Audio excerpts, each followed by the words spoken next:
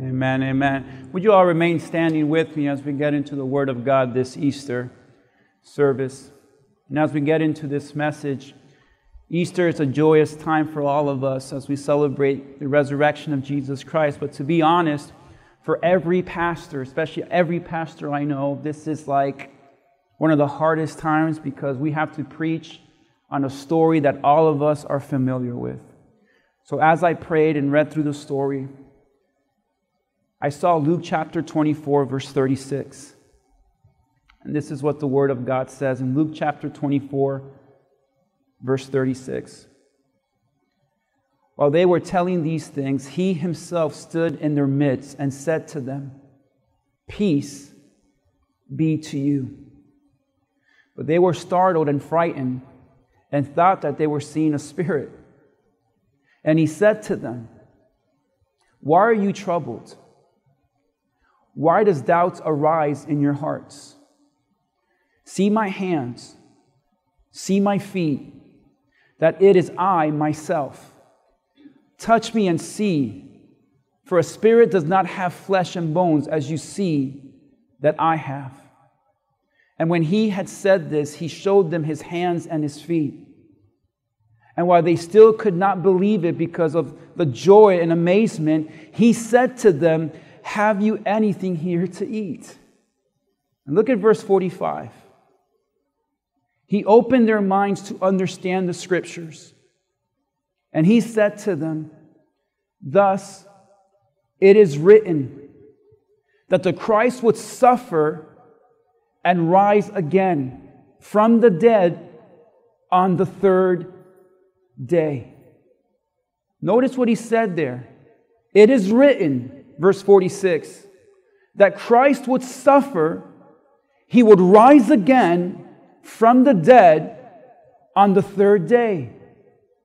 And in verse 47, and that repentance for forgiveness of sin will be proclaimed in his name to all the nations, beginning from Jerusalem. And I want to speak to you this Easter Sunday on the topic of this. It is written. That's what Jesus said to them. It is written that Christ would have to suffer, he would rise again for the repentance and forgiveness of our sins. Can we just praise God for that this morning? For the repentance and the forgiveness of our sins. Let us go to the word and prayer. Father, we thank you for this Easter Sunday. And we thank you, Lord Jesus, that you suffered on the cross for our sins. And it's through you, Jesus, and only through you, Lord, that we have forgiveness, that we're able to repent and turn our lives to you, Lord. We thank you that in you, Jesus, we can walk this earth with confidence, knowing that not only has our sins be forgiven, but we have been saved through you, Lord. And as we take this time to remember that suffering and that resurrection on this day, I pray that all of us would know without a doubt that we stand with confidence knowing our sins have been forgiven and we are born again. Help me preach this word in Jesus' name. Amen and amen. You guys can have a seat. As we get into this Easter service, I started reading Luke chapter 24, verse 36. And I started looking through all the Easter story. And I realized that that first Easter Sunday, that Jesus had risen. And this should have been a time of celebration.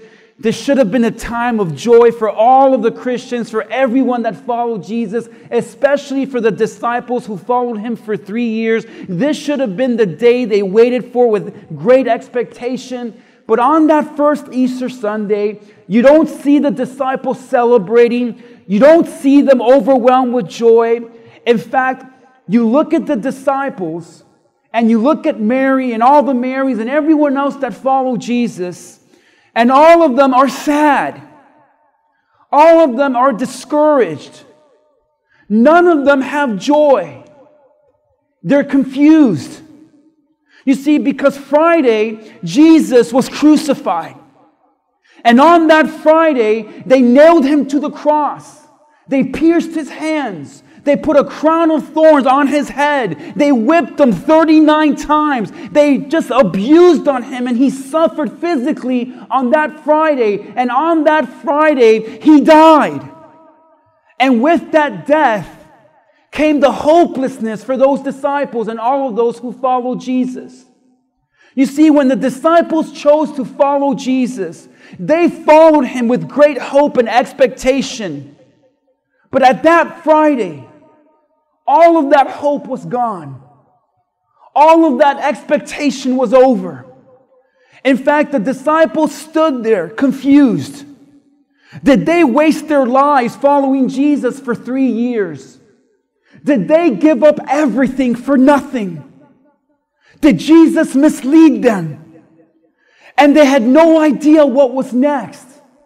Everyone wanted them dead. Everyone wanted them arrested. So now they sat there in this room hiding, afraid, discouraged, hopeless, confused, not knowing what was going to happen next. You see, that Friday was all about suffering. And Jesus Christ would suffer on that cross, not only physically. We know that his hands were pierced with nails, his head was placed with crowns of thorns. We know that he was whipped, we know that he suffered physically. But Jesus would also suffer emotionally. Emotionally, Judas would betray him.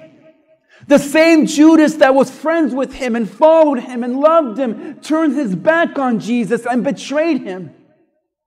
His own disciples scattered, and his own Peter, his own Peter, his friend, denied him. So Jesus not only carried the physical pain of that Friday, but the emotional. Jesus would not only suffer physically and emotionally, but Jesus would suffer mentally.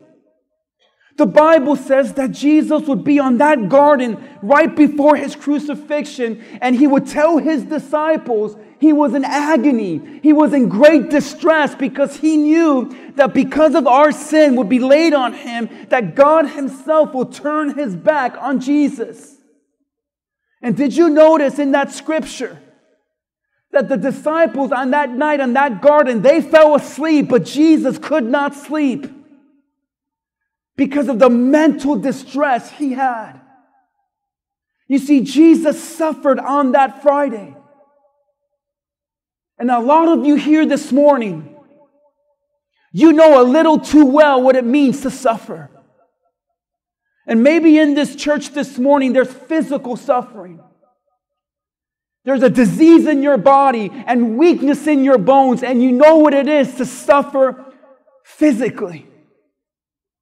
Or maybe in this church this morning, there's emotional suffering. And there's been betrayal in your life. You have a Judas of your own.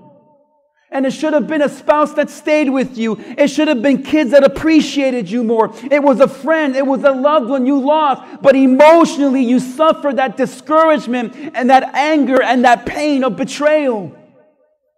And not only in this church and in this world is there physical and emotional suffering, there's mental suffering as well.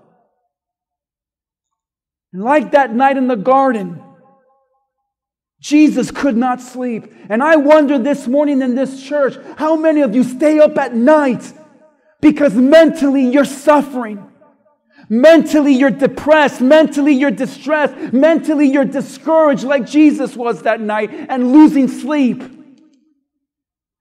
You see, a lot of us here know what it is to suffer, and some of you have suffered greatly. And I want you to know that if you are one of those people suffering, Jesus knows what you're going through. Even Jesus on the cross on that Friday, he asked Jesus, himself asked God, Why have you forsaken me? See, even Jesus asked God, Why? Isn't that the question we ask when life is unfair? Isn't that the question we ask when life doesn't go our way? Is that not the question we ask God when you're going through suffering beyond belief? You're asking God, why? But I'm going to tell you that on that Friday, when Jesus was on that cross suffering and he asked God why, God said nothing because Jesus would go through a period of silence where he would not hear his Father speak. And maybe you're going through a season of suffering and you're going through a season where it seems like God is silent. And on that moment, on that Easter weekend, on that Friday, it all looked hopeless for everyone. For those disciples and all of the followers of Jesus Christ, it looked like it was over. Have you ever been in a place in your life where it seems like it's over?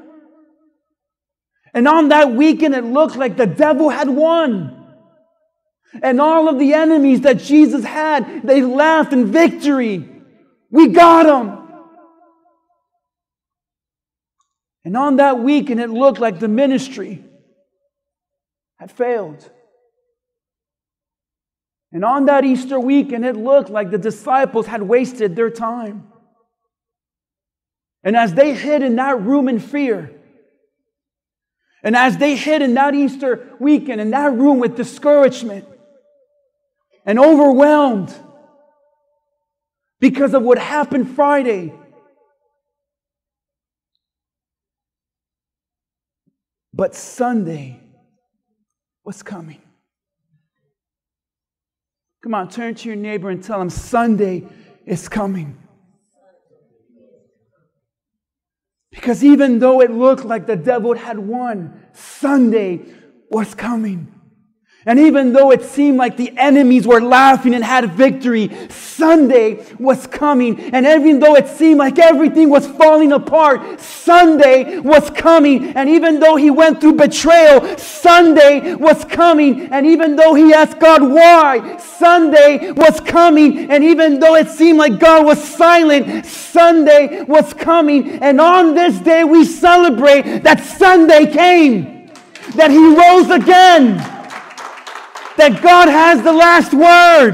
And I want to tell someone here this Easter morning you may seem like life is falling apart. You may be depressed beyond belief, going through physical and emotional and mental and spiritual suffering. You might just be going through a Friday. You might be going through the silence of Saturday. But in Jesus' name, Sunday is coming. So don't you give up. God has a plan, He's in control. You're just going through a Friday.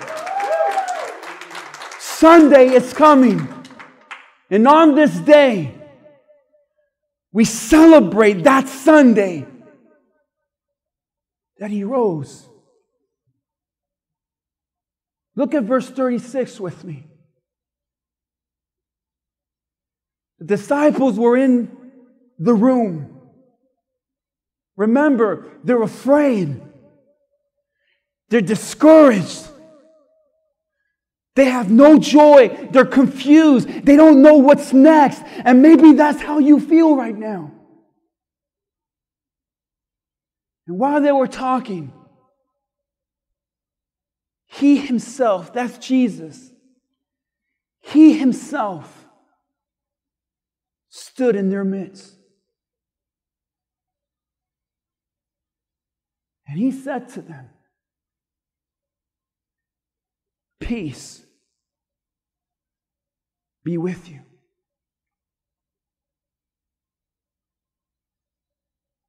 The first thing Jesus said on that Easter to those followers is peace be with you as they sat there confused and afraid and discouraged, wondering what's going to happen, what's next, and what if they catch us, and what if we die, what if we wasted our time. Jesus stood there in their midst and he said, Peace be with you. Some of you need to hear that this morning. Peace is not the absence of trouble but the presence of Jesus Christ. And you might be going through a Friday or the silence of a Saturday. And even today on this Sunday, you are depressed and discouraged and sad and lonely and afraid and confused, and the list goes on. But Jesus stands at our midst and he says, Peace be with you. Is it possible that no matter what you're going through, you don't have to lose your peace? Is it possible, no matter what you're suffering, you don't have to give up your peace? No matter who betrayed you, you don't have to lose your peace. No matter how confused you might be, you don't have to lose your peace. I believe peace is something we don't lose. Peace is something you choose to give up. Because God says Himself, when I stand in your midst, you can have peace knowing I'm in control and I am God. And that's why we celebrate this Easter. Because even though it seemed like nothing was working out, Jesus rose again. He stood in the midst of the, His followers, His people, and He said, Peace be with you. How many of you have peace today? How many of you have lost it? How many of you are searching for it? Peace is something that can only be found in Jesus Christ. And I want to preach to you this morning on the two types of peace only Jesus can give you. The first one is called the peace of God. Look with me in verse 45 through 46.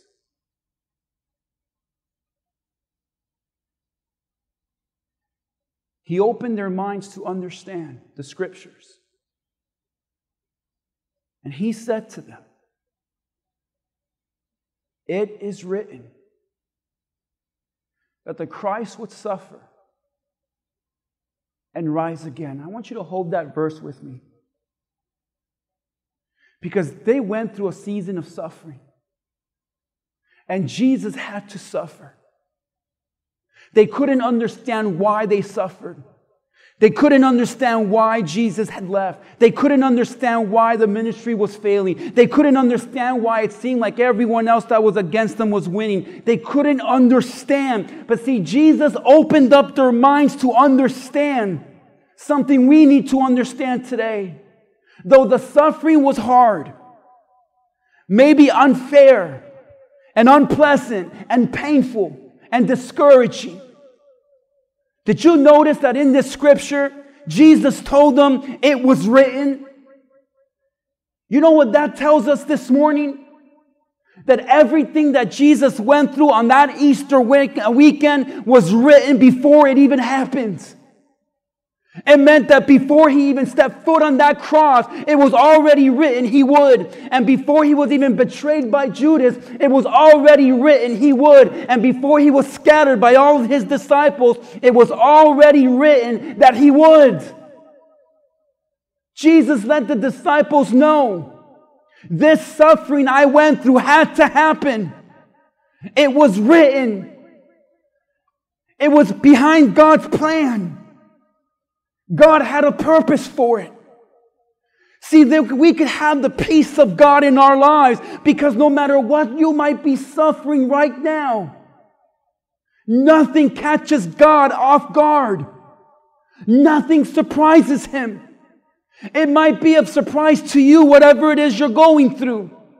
But everything you've gone through, everything you're going through, and everything you will go through has been written and predestined, and God already knows, and nothing surprises him.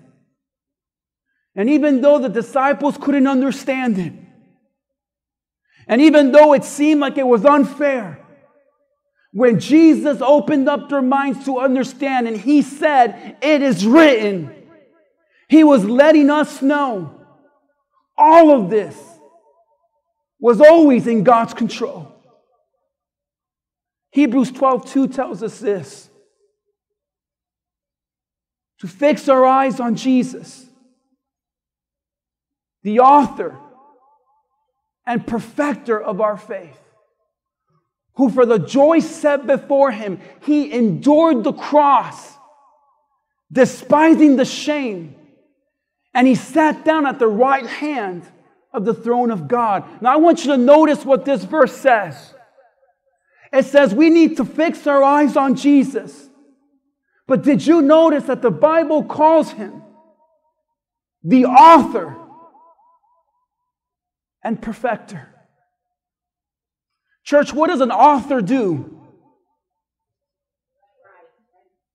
He writes. And that word perfecter literally means finisher. Here's something crazy about God He's not writing your story as we speak. God is not in heaven saying, I wonder what's going to happen tomorrow. And then he's going to write about it. He doesn't journal, he keeps no diary. The Bible says that Jesus is the author, he has written every day of your life. Nothing you do has caught Jesus off guard. No sin you've committed has surprised him. No past that you have has caught him completely off, completely off his attention. He has written every day of your life. Just like he told the disciples, it was written. Psalm chapter 139, verse 16. It tells us this because some of you might be here today and say, Do I have a purpose? Does God have a plan for my life? Does God know what I'm going through? Does God even care? The Bible says, You saw me before I was born. Before we were born, God saw you. And that doesn't mean that he saw you like a little fetus or a little ember, whatever. No. The fact that he says, I saw you, he means I saw all of you. I saw the day you were born. I saw the day you would die. I saw the mistakes you would make. I saw the great choices you would make. I saw everything you would do. I saw everything you don't do, you wouldn't do. I saw who you would marry. I saw who you would divorce. I saw who you would cheat on. I saw the kids you would have. I saw the job you would have. I saw you retiring. I saw you dying sooner than you thought. I saw this. I saw that. The Bible says you saw me before I was born. If you want to know whether God knows you, there it is. He knows everything about you. I saw you before you were born. Every day of my life was recorded. It was written in your book. Every day of our lives was written by God, meaning God has a plan and a purpose for every day of your life. No matter what you've done, God already knew you would do it and already had a way to work it for His good and His glory. And the Bible says every moment was laid out before a single day has passed. You might think you're living day by day, but God has your entire life laid out. And that's why we could have the peace of God. Because if anything, Easter tells us is that even though there was a lot of heartache and lying and betrayal, and even though there was a lot of suffering, it was written. God already knew. God already had a way. God already had a plan. God already saw it coming. It was all laid out. We can have peace the peace of God, knowing that every day of our lives has been written. That's why Jesus asked the disciples directly, Why are you troubled? Why do you have doubt? See, it doesn't make sense to serve a God that knows everything before it happens and lays out everything in our life and he knows everything before it even takes place and already has a plan and he's written our story. It makes no sense for all of us to live our life here on earth with fear. It makes no sense to live with doubt. It makes no sense to let things in this world trouble us. But sadly, so many people are troubled today. You're troubled about what's happening in the news. You're have what's happening in our country. You're troubled by gas prices. You're troubled by war. You're troubled by this family member. You're troubled by this child. You're troubled by your money problems. You're troubled by work. And God says, Why are you troubled? It was written. Why do you doubt? See, sometimes you can get so troubled in life, like the disciples were on that Easter. They were so troubled that it caused doubt. What if we wasted our time? What if he wasn't the Savior? What if they catch us? What if we go to jail? Well, what if we die? I doubt we're going to make it. I doubt we're going to survive this. What's going to happen to my family? What's going to happen to my children? What's going to happen to my job? What's going to happen to us? And the disciples were filled with doubt. And maybe that's you this morning. And life is just troubling you and robbing you of your peace. Because it is impossible to have the peace of God when you allow the troubles in this life to cause doubt in your minds. And Philippians 4 6 through 7 says this. And this is a verse we all need this morning. Amen? Be anxious for nothing. That word anxious literally means worry. How many of you worry a little too much? Be anxious for nothing, but in everything, by prayer and supplication, with thanksgiving, let your requests be made known to God. And here's the promise. And the peace of God, say that with me, and the peace of God, which surpasses all comprehension, will guard your hearts and your minds. Because that's where doubt and anxiety attacks. Your heart is talking about your emotions. Your mind is talking about your thoughts. You want to know why you're so worried? Let me know today what you're thinking about. And that's why you're feeling the way you're feeling. That's why you're losing sleep. That's why you're always afraid. That's why you're popping pills. That's why you got to get drunk and forget. That's why you don't sleep at night. That's why you're worried and afraid all the time. That's why you're losing hair. That's why you're losing weight. That's why you're gaining weight. Why? Because you're filled with constant worry and what if and doubt and I doubt it. And you're just like the disciples. But Jesus stood in their midst and said, Peace be with you. Why is it that we could have the peace of God? Because every day of our lives has been written and pre planned, and He knows the beginning from the end. And I promise you, as I stand here today in this pulpit, God is in control. That is the story of Easter. You may not understand it, it may seem unfair, but we can have the peace of God. That makes no sense, the Bible says.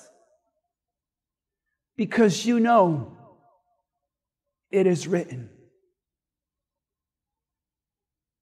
The peace of God is a peace knowing that I don't have to understand. My trouble doesn't have to end.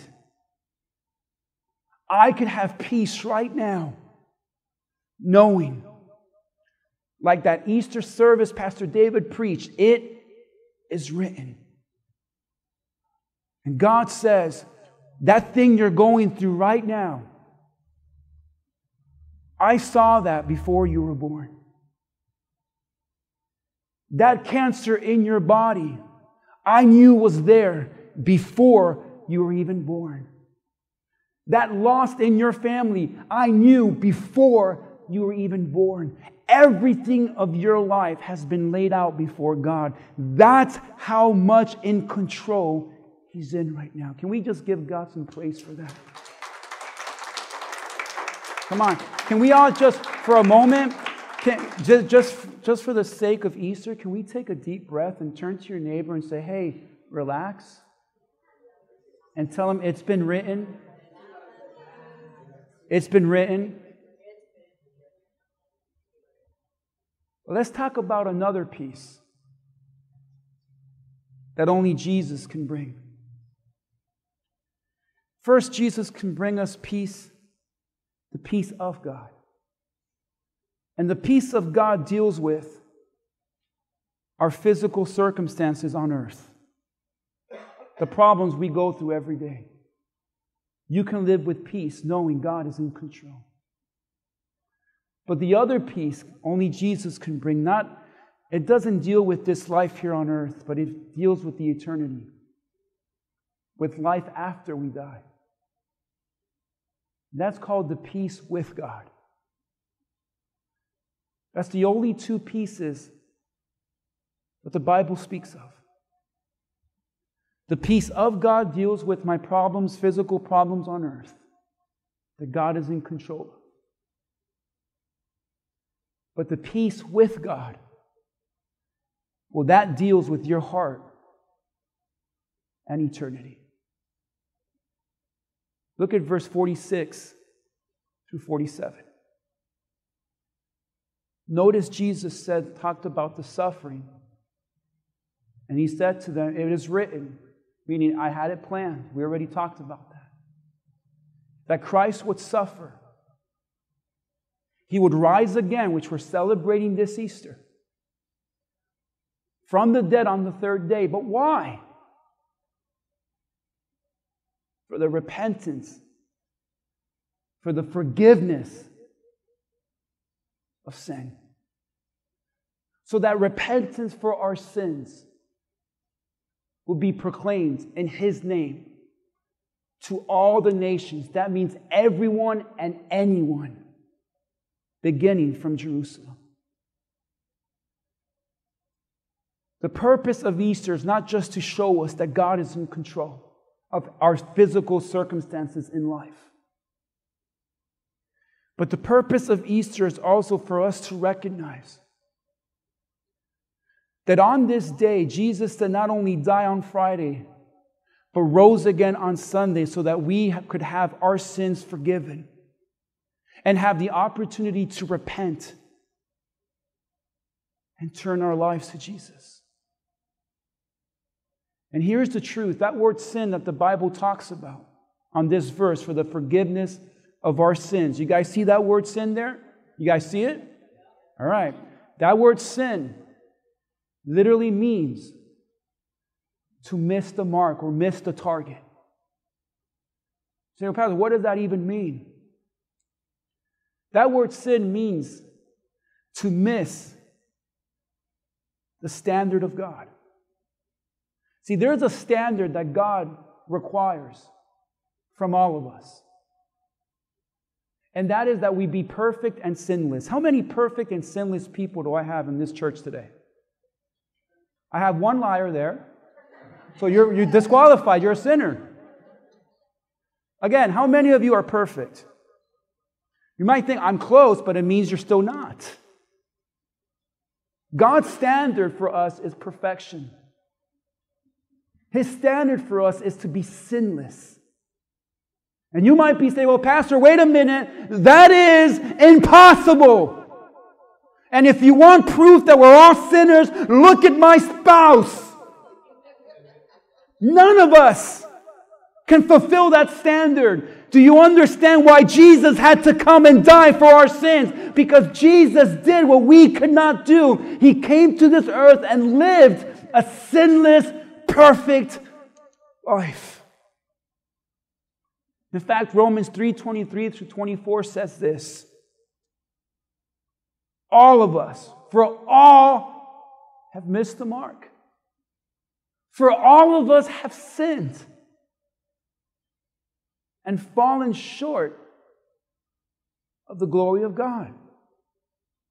Notice the Bible first says all of us have sinned and we have missed the standard of God.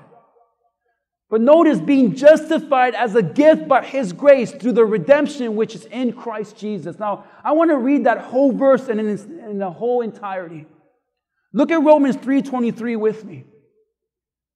All of us have sinned. Say that with me. All of us have sinned. Can we say amen to that? Can we agree? All of us have sinned and fallen short of the glory of God. Now look at verse 24. But being justified as a gift by his grace through the redemption which is in Christ Jesus. See, the Bible is clear that all of us have sinned. And because we have sinned, we became enemies of God. But Jesus came to this earth and he lived a perfect sinless life. And he came to die on the cross for our sins, for you and for mine. And Jesus did what we could not do. And the Bible says that this is a gift from God. Salvation is a gift from God. Why does the Bible call it a gift? Because a gift is something that is given. It is not something you deserve. None of us deserve forgiveness. None of us deserve salvation. Not even me. I'm here preaching. That doesn't mean anything. We're all in church. That means nothing. Why? Because all of us have sinned. All of us have missed the standard of God. But the Bible says, and this is what we remember on Easter, that Jesus Christ came to this earth, lived a sinless, perfect life for 33 years, and he died on the cross for you and for me. And it's a gift. You do nothing to earn it. Let me illustrate this for you. But many, many years ago, my family and I went to a fair. Mom, do you remember in my room a cow with a cowboy hat that I had? That was my favorite toy growing up. It was a giant stuffed animal. And I slept with that bull. He was a cool guy. Let me describe. He had a bull horns, cowboy hat, and a revolver. And I thought that was the coolest bull ever. So I, my parents gave us each $5. And we can spend it however we want. And when your pastor saw that bull, I said, There it is. So I slapped down the five. Back in the day, $1 got you 10 ping pong balls. I slapped down a five. You do the math. I was getting that bull. And when I got all my ping pongs, all I had to do, way far in the middle, was to hit it in this little cup. And there was your pastor.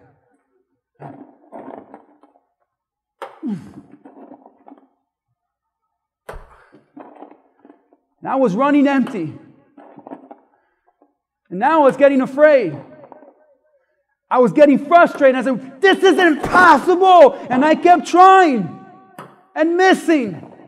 See, all of us, that is like how we live our lives. God has a standard, and that's perfection. And no matter how much you try to be perfect, you'll always miss because all of us, oh, that was not, still missed. All of us are sinners. And let me tell you, this is how we get with God. Yeah, God, but some of us are not as bad as others. Yes, some of them are closer to others. But guess what? Still missed. There I was, not hitting the standard. And this is how we get with God. We can't do it. And wouldn't you know, I ran out of ping pong balls. I never made it. This is an honest to God true story. When I was hopeless and mad at myself and thinking, man, I can't even make it, a ping pong ball flew and went. And there was a man, I'll never forget him, he was right next to me. And this man saw me trying. And I don't know how, maybe it was God doing this for this very sermon today. But this man, on his first try, nailed it. And when that crazy carny guy said, Who made it? That man said, He did. And I said, I was a Christian already. I said, No, I didn't. And he said, Do you want it? And I said, Yeah. And he said, Then you made it. And I said, Okay. And I got my bull. And I walked up. Danny was bitter. He's like, You didn't win. I'm like, Yes, I did. You remember, Danny, how jealous you were? All right. And I, I slept with that bull. I hung him on my wall. I had him for years. Once I got married, I had to give him up. But listen, I had that bull, but I walked with confidence, like I want it, even though I know I didn't. But see, that's what salvation is. All of us have missed it, but Jesus did what we could not do. He lived a sinless, perfect life, and all he can say is, Do you want it? Do you want it? See, suppose though I said, you know, no, no, I don't want it. I'm going to keep trying. And this is what we do.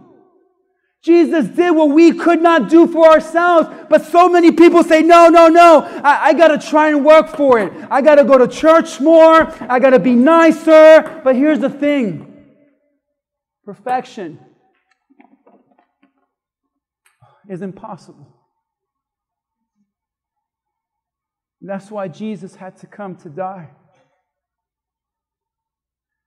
It makes no sense for anyone to think that it is by works or good works that you're saved. Because all the good works doesn't stop the fact that we're all sinners. And even though, can you imagine if I said, no, no, no, don't worry, I got this, you know what would have eventually happened? Would have ran out of money. I couldn't do it. Church, I hope you get this this morning. All of us here are sinners. No matter how you want to paint it, all of us have missed the mark. We failed.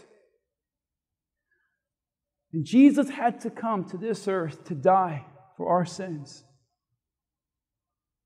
And all we can do is receive that and say thank you. Well, I'm not that much of a sinner. Really?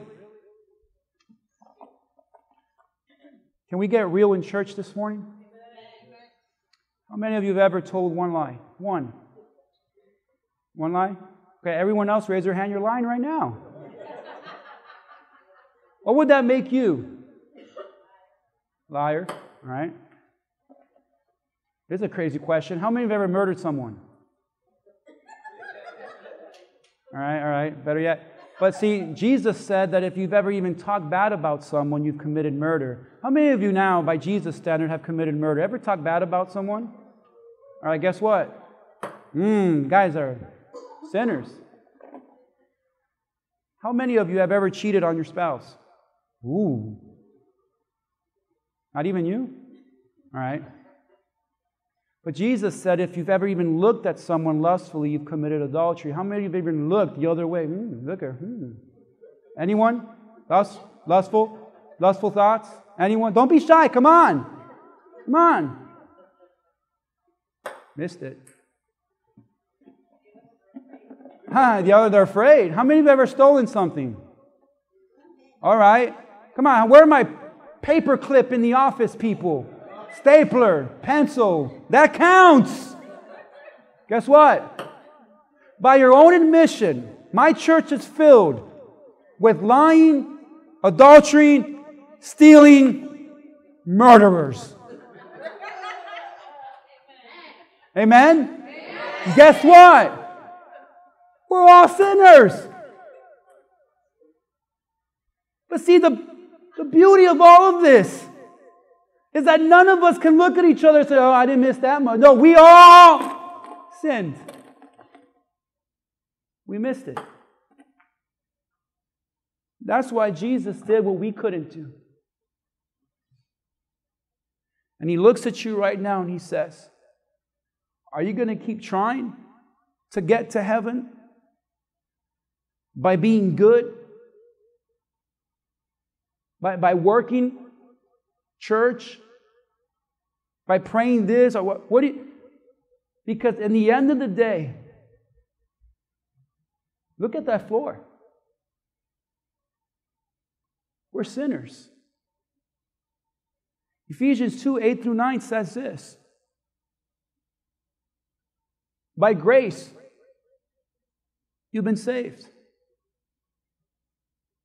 That word grace literally means love that you don't deserve. You know that the love that Jesus gave us on that cross, none of us deserved. That's why it's grace. We thank God for the grace of Jesus Christ because if it was the standard of God we had to live by, all of us would be damned to hell right now.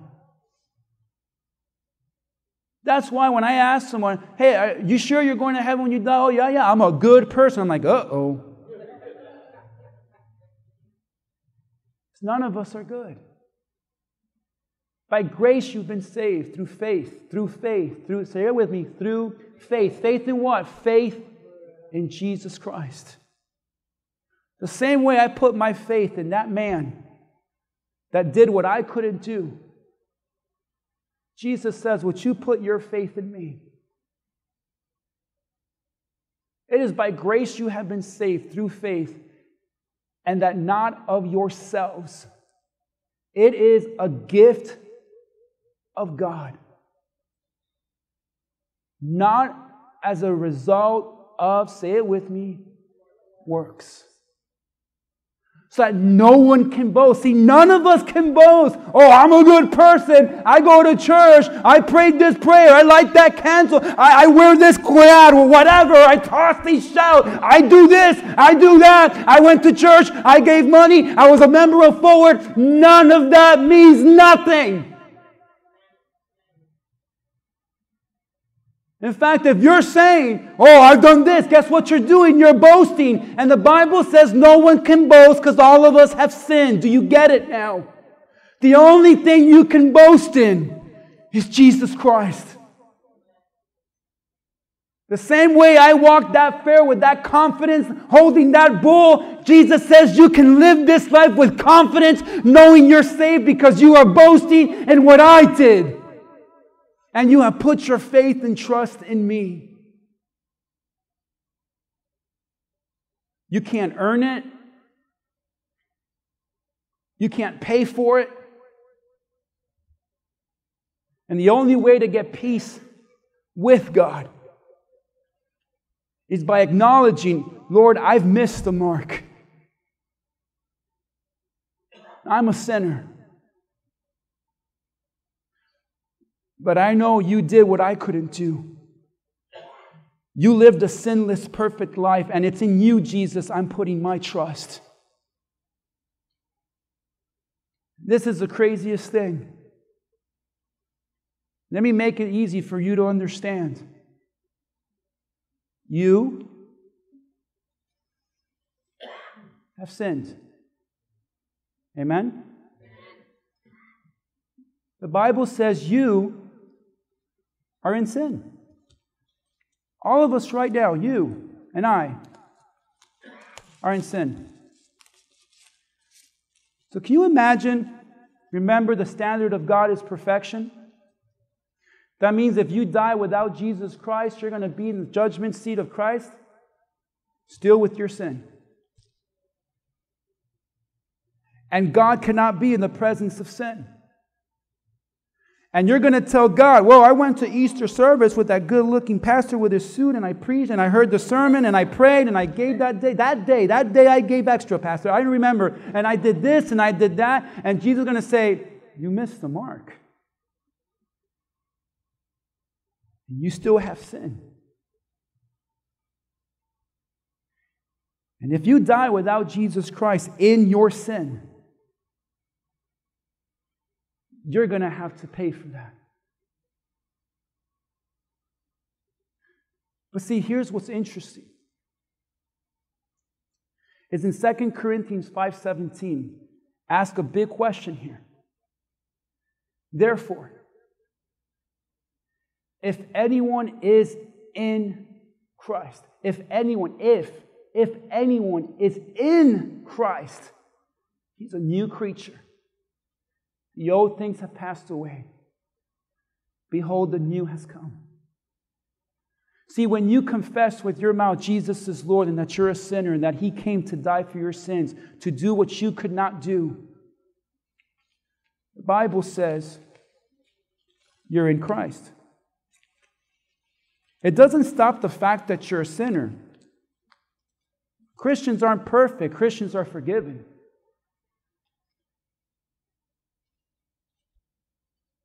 And now you see that I'm in sin, but now I'm in Christ.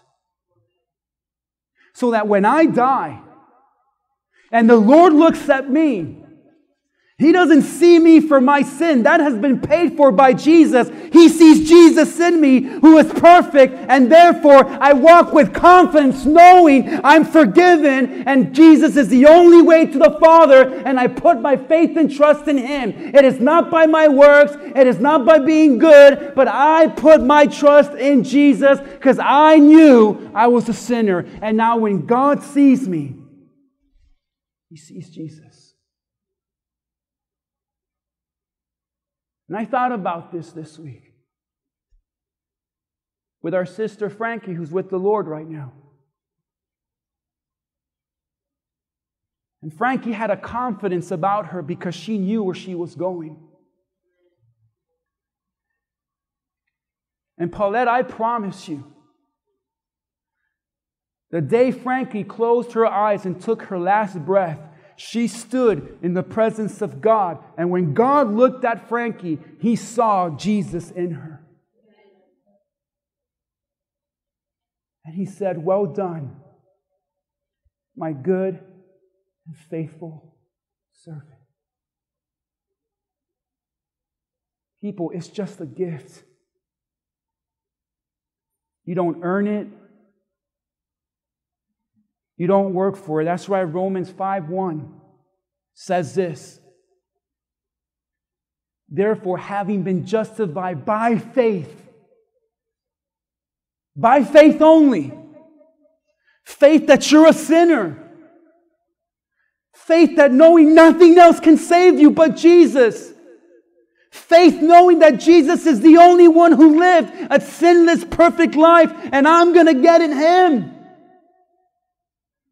not by my works. Not because I'm good. No, I've missed the mark. I might be the worst of the worst. But I know that Jesus Christ came to this earth and died for my sin. And I put my faith and trust in Him.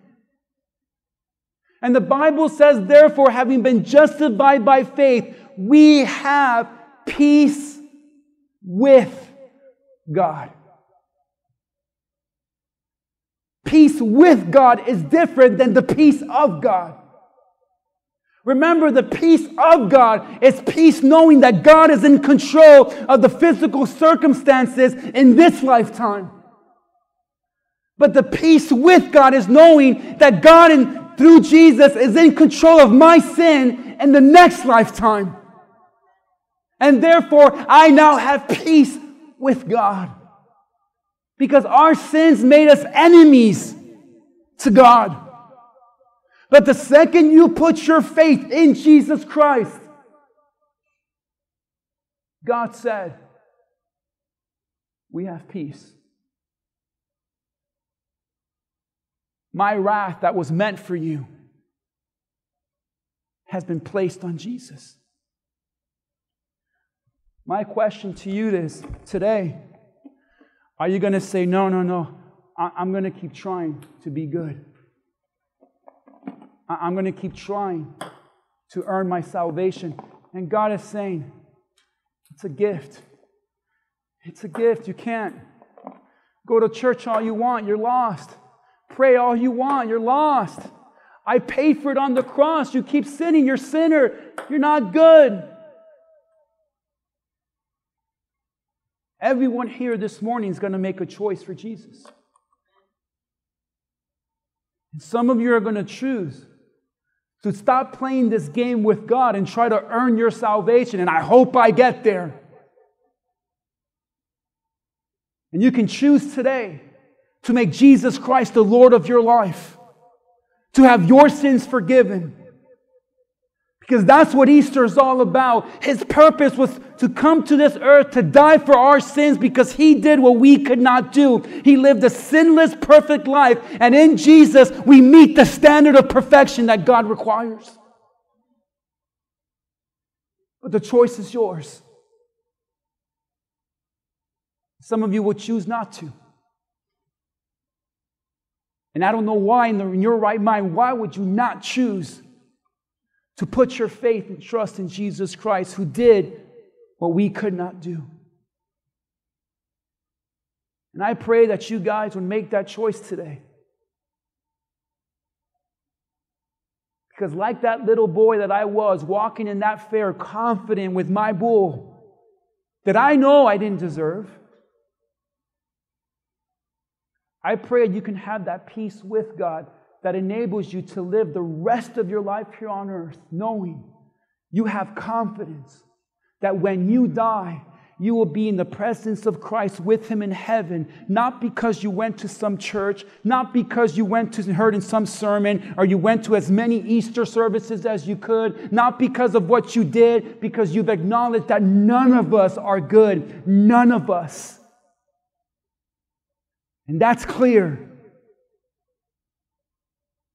You see, Jesus asked the disciples, Why are you troubled?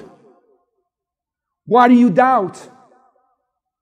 And I understand today we have the peace of God. We have no reason to be troubled or doubt here on this earth because God has written everything. He's in control. So I can have the peace of God and not live with worry and anxiety. But let's talk about the peace with God. And maybe some of you doubt that this morning and it troubles you. Well, Pastor, I'm not sure if I'm saved. I think I'm saved. I hope I'm saved. Are you willing to put your life on the line with words like, I hope so?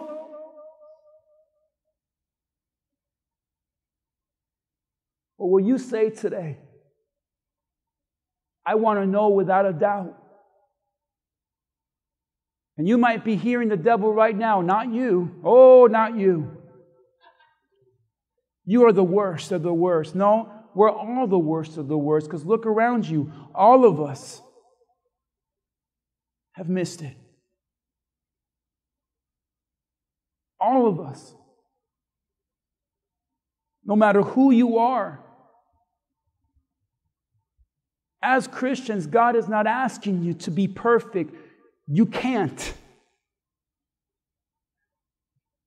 You could only be forgiven. Psalm 14:3 says this. They have all turned aside. Together they have become corrupt. There is no one who does good. Not even one. If you're that person that thinks you're good enough for heaven, you are calling God a liar. Because God says clearly, no one is good. It's a gift from God. That is the story of Easter. What choice will you make? I'm glad I have the peace of God that knows He's written every day of my life. And I have the peace knowing I have no reason to be anxious or worried. God is in control. And I live with confidence knowing I have peace with God. Not because I'm a pastor, not because I pray and read the Bible, no, or grew up in a Christian home. I have the peace with God because when I was 15 years old, I remember listening to a pastor preach what I'm preaching right now. And at that age, I recognized that I was a sinner, even though I had fantastic parents and grew up in a Christian home and I was privileged and I was and I, that was a blessing. But I knew I was a sinner. And on that day, I walked forward like you're about to, hopefully, to the altar. I got on my knees and I just asked Jesus to forgive me. And I asked the Lord and I said, Lord, I surrender to you. I understand understand and I put my faith and trust in you. And on that day, my name was written on the book of life. All of my sins, past, present, and future, were forgiven. And I now walk with confidence, knowing I have peace with God through Jesus and through nothing else. We got to stop this well, don't all roads lead to heaven? No, the Bible says it is by faith through Jesus. That is it. Happy Easter, everyone. now, close with this peace with God, peace of God. Let me join this together. The peace of God is knowing God has a plan for everything, He works everything for good, He's in control. And a few weeks ago, I went with a close friend and his son. I went fishing on this smaller boat that I have. And it was a beautiful Saturday morning. We were fishing.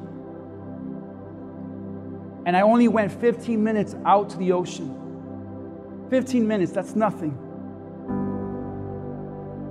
And all of a sudden, this huge wind came out of nowhere. And the waves picked up, and that little boat was not big enough to handle the waves that came. And your pastor was scared.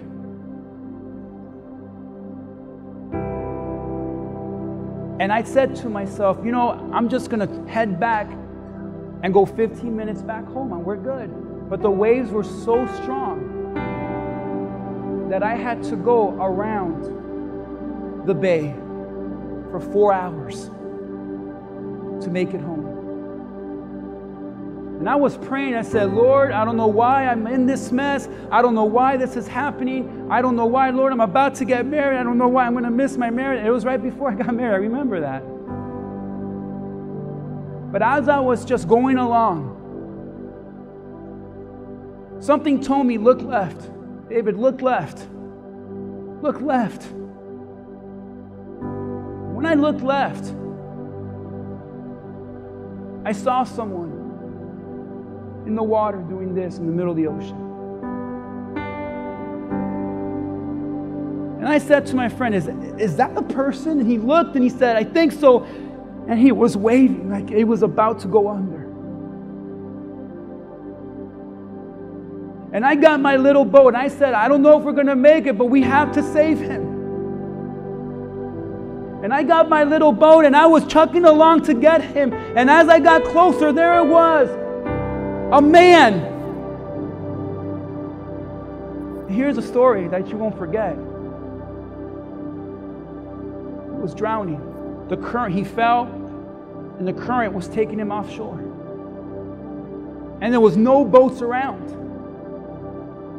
And I realized the providence of God. I realized the reason that I could not go 15 minutes back this way is because God was working everything for me to go that way because someone needed to be saved.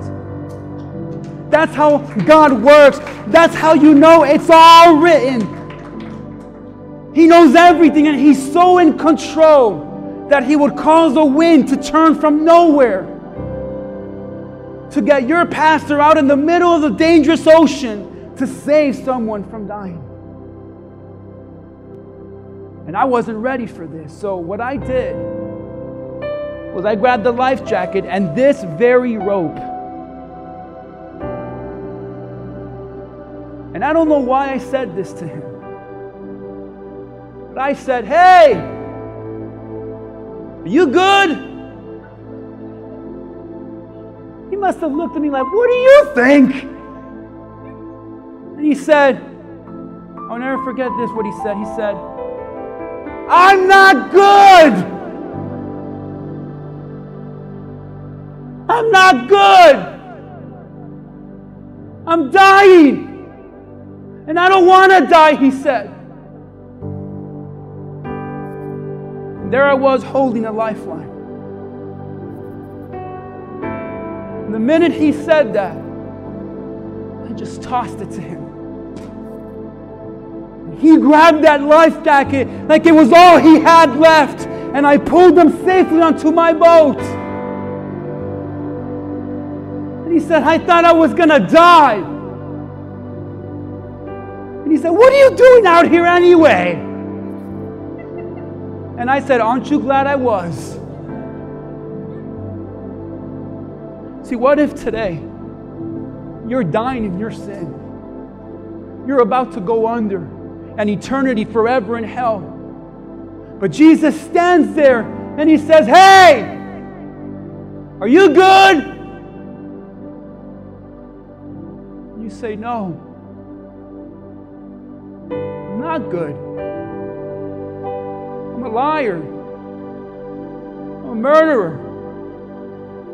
I'm an adulterer. I'm a thief. I'm a sinner. I'm not good. Do you want me? Yes. Do you need me? Yes. Do you trust me? Yes. Here you go. Welcome to the kingdom of God.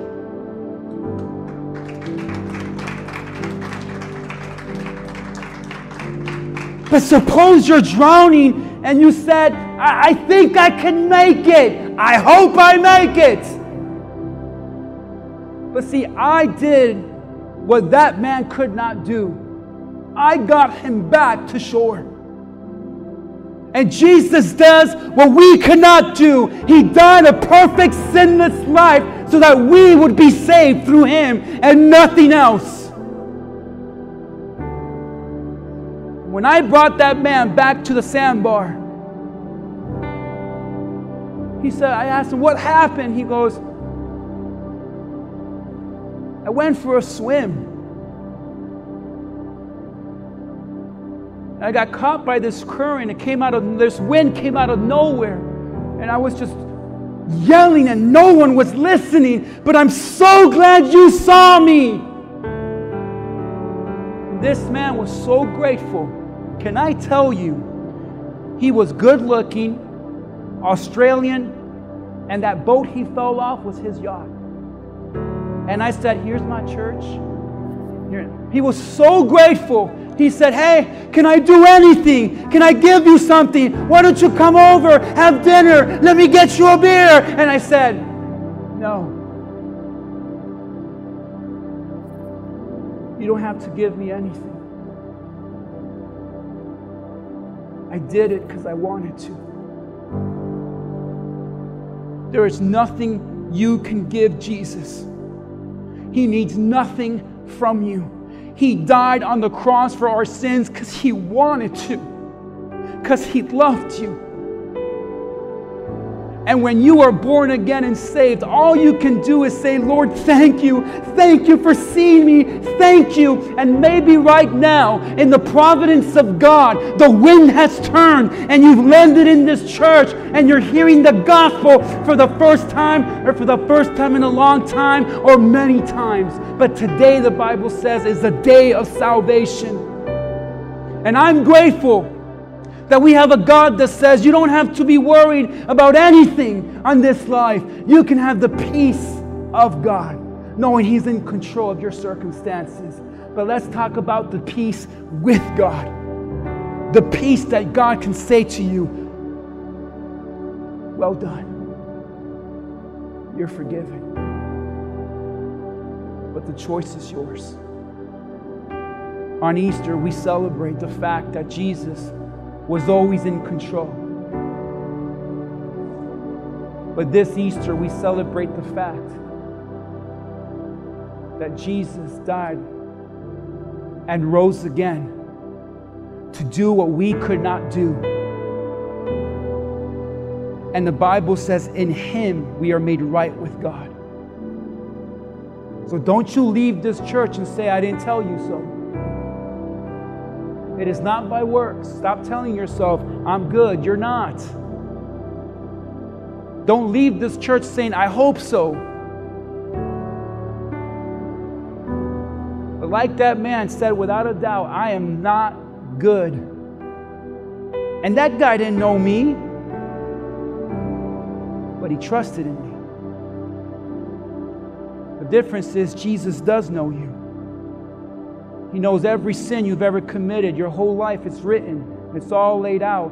And even the worst of the worst, Jesus says, I still love you. I can still forgive you. You can still come to me for salvation. Can we all just pray this Easter? Let's all stand to our feet today. And I want to give you guys the opportunity today, once and for all, to experience peace like you've never had. A peace that no one else can give but Jesus. A peace knowing that God has written every day of your life. That's why you can't tell me today, Pastor, I'm too much of a sinner. God can't forgive me. No, God already saw that sin before you were even born, and He already died for it. And today is the day of salvation. You can leave this church this morning saying, I'm good. I'm fine. I hope I make it. Or you can leave here with the confidence knowing you have peace with God through Jesus Christ. Because on that Easter Sunday, as a pastor preached and called you to the altar, you once and for all stopped playing games with God and you asked Him to forgive you of your sins. And on that day, a dirty, rotten sinner became saved in Jesus so that when that person dies, the Lord does not see your sin anymore, but He sees His Son Jesus. Jesus and you are made perfect in the eyes of God. And you enter only through Jesus, and only through Jesus do you enter into the kingdom of heaven. So don't you leave here without knowing that you are saved. So let me ask you this question this morning, church. Jesus asked them, Why are you troubled? Why do you doubt? My question to you this morning Does the thought of eternity trouble you? Does the thought of dying trouble you? Because as Christians, we look at death as the greatest opportunity of our lives. Because we have the confidence we stand with Jesus Christ. But if the thought of death and eternity trouble you. Maybe you're saying, Pastor, I have doubts that I'm saved. Would you put that hand up for a moment and say, Pastor, I have doubt? I'm not sure. God bless you. With every head bowed and every eye closed today. Today, the Lord sees you. You may be dying in your sins right now. And the Lord will ask you, hey, are you good? My prayer is you say, no, Lord. I'm a sinner. I'm not good. I deserve to go to hell. Nothing I can do can stop the fact that I am a sinner. But I understand now, Lord, why you came to die on the cross for my sins.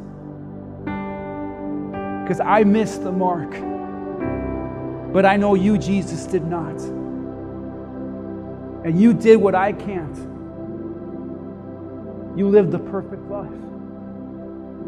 And I know I don't deserve it. I know I can't earn it. But I know it's a gift. And today, I received that gift of salvation and I asked you, Lord, to forgive me of my sins. And I put my faith and my trust acknowledging you, Jesus, as Lord. And if that's you this morning, I invite you this morning to put that hand up so I can pray with you this greatest opportunity of your life. God bless you. I see your hand. God bless you there. God bless you. I see you there. I see you all there. And all of you who raised your hands today, I invite you to pray this with me. If you understand now the words that were preached this morning, say, Lord Jesus, I understand. Lord, I'm not good. I am a sinner. Just tell him right now for what it is. You're a sinner. Lord Jesus, I am a sinner.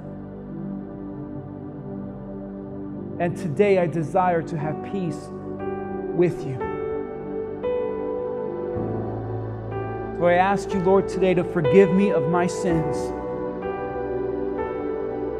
as I put my faith and my trust in you, Jesus, and no one or nothing else. And today I receive the gift of salvation through your death on that cross. And I ask you to be the Lord of my life. Forgive me, Lord, and welcome me into your kingdom when the day comes. In Jesus' name. Welcome to the family of God. Come on, give God some praise today. And I want to pray for all of us here today before we dismiss. In a special Easter service, maybe you're here today and you're saying, Pastor, I'm saved, I'm born again. I know without a doubt, I have that confidence, like you did with that bull in your hands. I have confidence with Jesus that I'm good with God only through Jesus. But like those disciples, they were believers too. They put their faith and trust in Jesus, but they were in this room afraid, discouraged, anxious, worried, sad, and depressed. And you know what all that tells me? Is just because you're saved doesn't mean you're not human. Amen?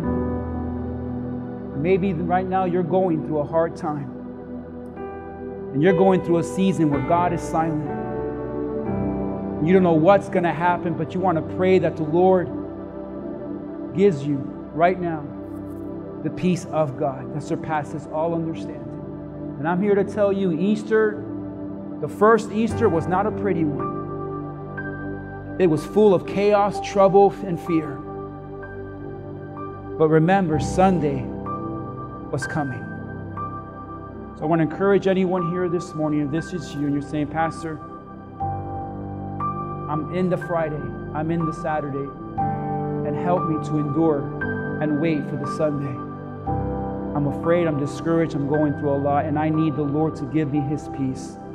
And I promise you this His peace surpasses all understanding.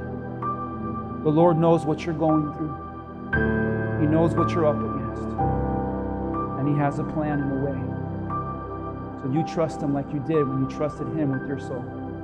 If that's you this morning, would you put your hand up? I want to pray over your life. God bless you. You there, you all around the room today. Let's all pray together. Father, in the name of Jesus, in no other name. We love you and we trust you, but we're scared, discouraged, afraid, not knowing what's going to happen.